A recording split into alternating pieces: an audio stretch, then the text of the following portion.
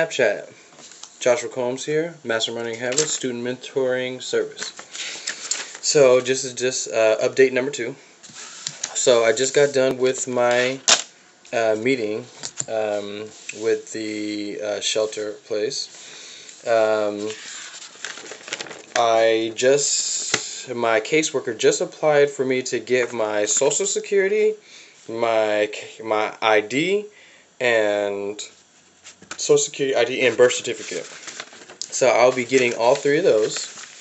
I've also she also applied my caseworker also applied for me to get my food stamps and cash card. The uh, next thing she did um, for me was set up a list of goals for myself, um, um, the things that um, that I will be doing um, to better my situation. Um, and those list of goals consist of, let me find them, uh, lots of paperwork here, lots of paperwork, I will be at your office responsible, blah, blah, blah. Oh, here we go. Oh, wait, no. Okay, well, I think she has the list of goals, but the list of goals was finding an apartment, or getting an apartment, uh, getting my social security IDs and all that information, applying for food stamps and stuff like that, um, getting back onto my medication. So she also gave me a hotline number to call so that way I can get into a um, mental health facility. And also, um, I and also my caseworker made it possible for me to go to the uh, temp agency and there I could start the process of getting hired. And then by the time they get ready to process my application and do all these things I could bring my new ID and I could bring all my new uh, information. Uh, so this is just an update. So for people if you're out there and you're not feeling too well about your current situation there's definitely help for you.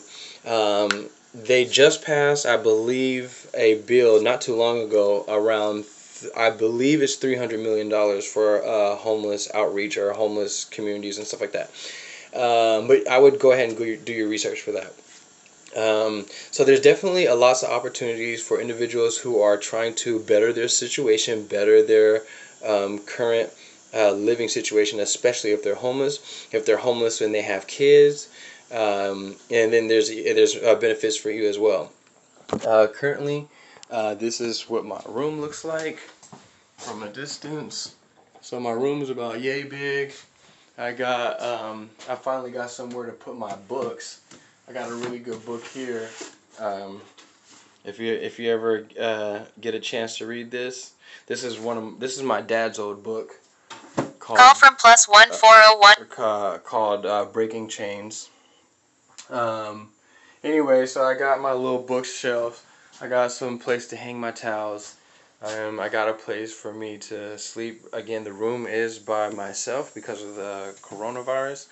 I also have my own window and airflow and all that good stuff. I have a nice light and a nice little mirror to make sure I'm dressed appropriately. Um, and so, yeah, everything's going well. So again, um, if you're out there, you need help, um, you're looking for assistance, just do your best to re- be resourceful.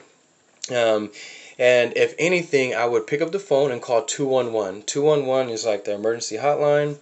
Um, and so you, you will be able to be helped in your region or your area or your county. Again, this is Joshua Combs coming to you with an update. Uh, this is basically me giving updates from basically um, uh, going to the lowest point I would say in my life and building, uh, setting a foundation to build myself up to where uh, I'm in a position to be stable for myself and uh, most importantly for myself and then second importantly for my kids and then anyone else that um, any of my other loved ones and, and significant others in my life. Um, again, this is an update by Joshua Combs. Hope you guys have a great day. Remember to subscribe, click the like button, hit the bell notification, share on your social medias if you will. If you know someone in need, tag them in the video, tag them in this post. Um, and with that being said, peace, love, and happiness. You know the deal.